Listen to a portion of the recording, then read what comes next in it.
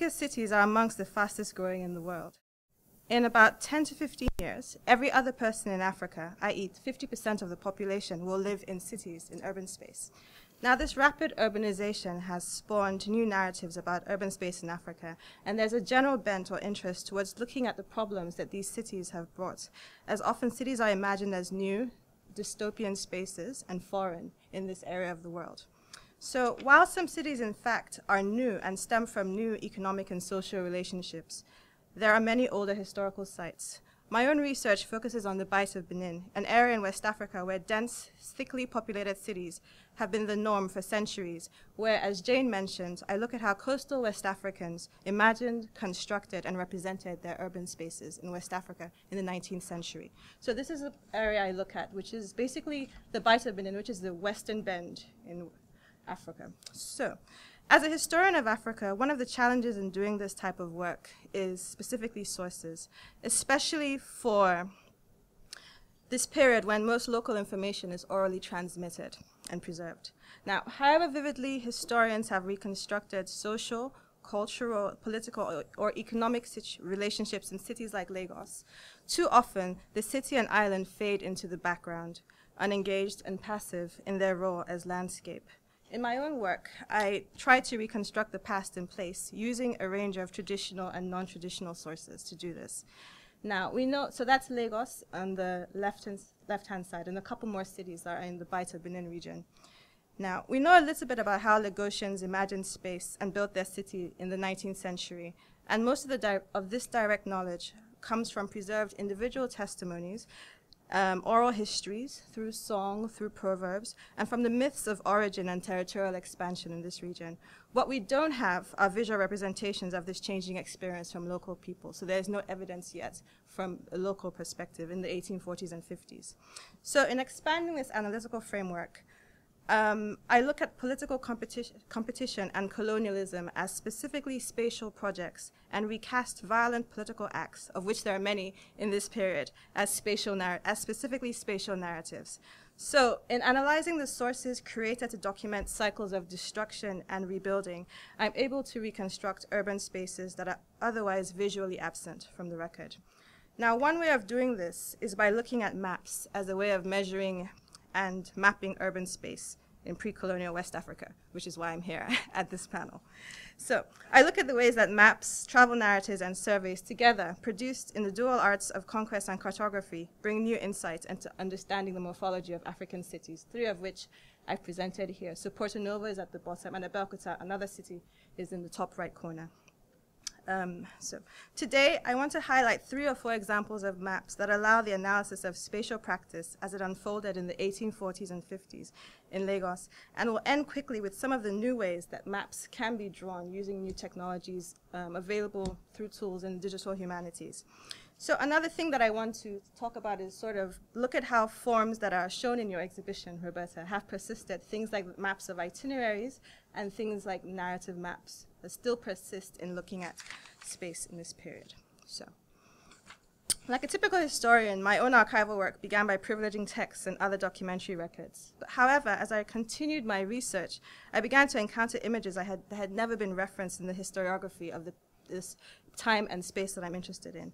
Now, some of these images, as I show here, um, accompanied correspondence, while some have been extracted completely from the files or folios that are about them. So in presenting my work earlier, people have encouraged me to sort of think about archival practice as a specific part of my method. So this is something I'm trying to think about here. So as we flip through the sort of correspondence from the 1850s and 40s and 50s, you see various types of maps, sketches, formal, informal surveys. There's a whole array of maps that have been sort of ignored in the ways that historians think about space. Now, I call these maps colonial because of when they are produced, where they're archived, and who they are attributed to.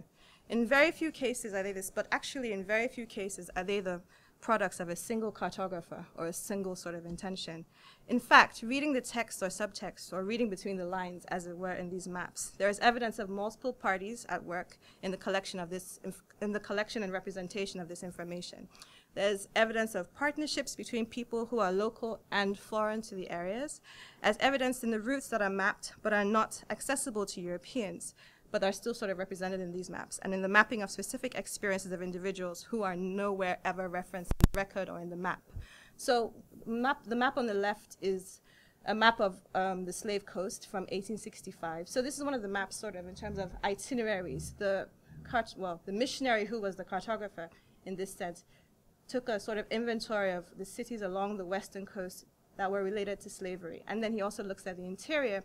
I'm sorry it's not very clear or sharp, but basically he maps a lot of routes that he himself could not have possibly traveled on. So there's evidence of the informants there. On the right, we see another map that's not entirely too sharp, but is a map of one of the rivers that he goes, that he shows in his map, and that's expanded on here. Um, looking more at itineraries and plotting, we see evidence through time of people plotting actually cities um, in terms of landscape. We see Ouidah, we see Badagry, we see Popo. So there's all kinds of series of these maps that have not been exploited in terms of thinking about space in Africa. Another map that's particularly important for my work is comes from the 1850s, and this is one of the very first maps of Lagos that we find. It, and interestingly enough, it's actually not a map of Lagos, it's a map of the river, because the British were thinking about how to navigate and get into the interior and also how to do certain things in terms of um, bombing and violence and the things that I mentioned that I sort of rethink spatially. So this is the first map of Lagos that we see that actually represents the space as lived in in the era. And then another map that we see here it comes from a little bit later, and then I've been able to sort of collect um, different representations of the island and region here. The last map I'm showing to continue this trend is when I look at it in terms of propaganda and presentation, this is a map of Lagos from 1885 that was shown, that was drawn and shown in the Colonial and Indian exhibition as part of a sort of propaganda about British imperial power around the world. So these kinds of maps are ways of accessing urban space in West Africa.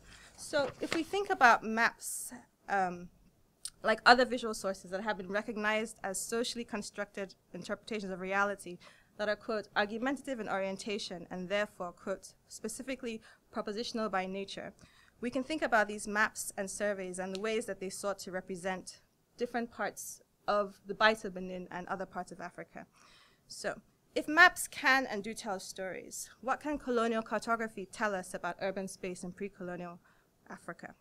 So one of the things, so I'll just go through this part pretty quickly. These maps share many characteristics and are striking not only for what they show, but also what they omit, quite in opposition to the detail in the maps that we've seen earlier. So first of all, they share a visual language that foregrounds the Cartesian qualities of geometrically planned European space. There are significant absences, let me go backwards. There are significant absences and blank spaces that paper over indigenous settlements. So specifically here in this map, the older cities where the African populations lived are often blank in all the maps that we see. So the, these absences and blank spaces that paper over indigenous settlements as the maps often lack a visual metaphor for what is local or African. It is here that the uh, documentary record complements these maps and allows one to narrate as well as visualize these spaces that people lived in the 19th century. Of course, there are multiple sites of tension in analyzing and combining the documentary and visual evidence, as it is not until 1885 that the map of the city is presented as full, or should I say fully inhabited.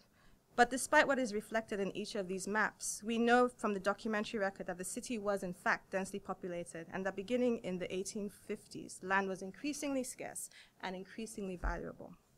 So, um, so for historians of Africa, like myself, the excitement and possibilities triggered by using applications like GIS is tempered by the question of sources. So there's a whole sort of trend now to think about these representations of space. How can we map them on the quote, ultimate map, Google map, that's sort of a, supposed to be the accurate representation of the world. So on the left is this 1885 map that I showed, and on the right is the current, well, a few months current version of um, Google Maps of Lagos as it is now. So one of the things you can do is sort of geo-reference these maps and think about how to plot space based on what you know and what you don't know. So, um, so more maps sort of, I'll move to this one for now. So, so these issues of using these new applications are tempered by questions of sources yet again. How do we reinterpret these sources? How do we assemble them? And how do we deal with the ever-present question of mediation and the masking of local agency? The first and most immediate risk comes from the nature of the sources themselves, as these maps, charts, and sketches that lend themselves to these exercises are almost always exclusively produced by people who are not familiar with these areas. So how does spatial analysis move us beyond well-worn schemes that plot power along specific axes of race, space, and technology? How can we use these sources without reinscribing old ways of seeing the world, or new ways also? How useful are these data-hungry tools, for instance, in circumstances where empirical data is uneven or sparse in the period that I'm looking at? So for me, one way of doing this is thinking about turning the maps inside out and subtracting what we know is European and focusing on Next page. Spaces within the boundaries of what seems unknowable or unquantifiable.